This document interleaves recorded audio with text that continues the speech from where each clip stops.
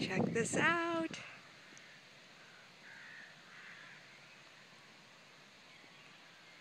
That, my friends, is a Roomba lawnmower.